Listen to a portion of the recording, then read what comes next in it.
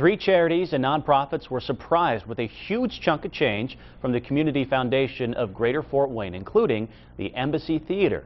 Let's go now to 21 Alive's Jen Danczak, who's live at the Embassy with details. Jen?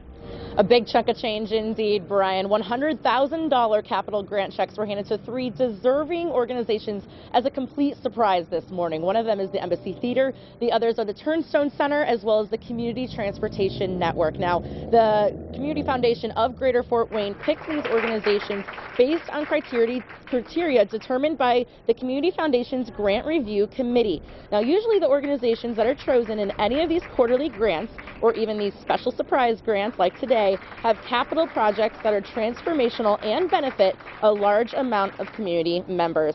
The capital project for the Turnstone Center for Children and Adults with Disabilities was a $14 million campaign, including the building of their massive gymnasium, which I've seen and it's beautiful. For the Community Transportation Network, leaders say the money will help reduce the debt of their facilities building renovations. And the Community Foundation over the years has had a tradition of giving out these special year-end strategic grants for a variety of projects.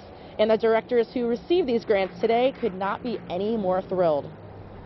You know, when, when you get an invitation from the Community Foundation, you think that something's up and it might be related to a gift, but um, it would be very important um, to tell you that we had no idea what was going on. Yes, yeah, it's a great surprise. Uh, great Christmas present, early Christmas present. It's huge. It's huge.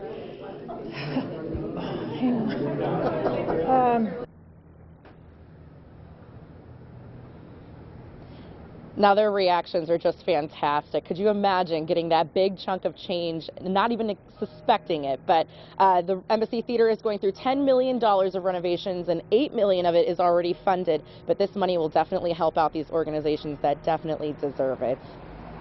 To hear about that, Jen, thanks so much.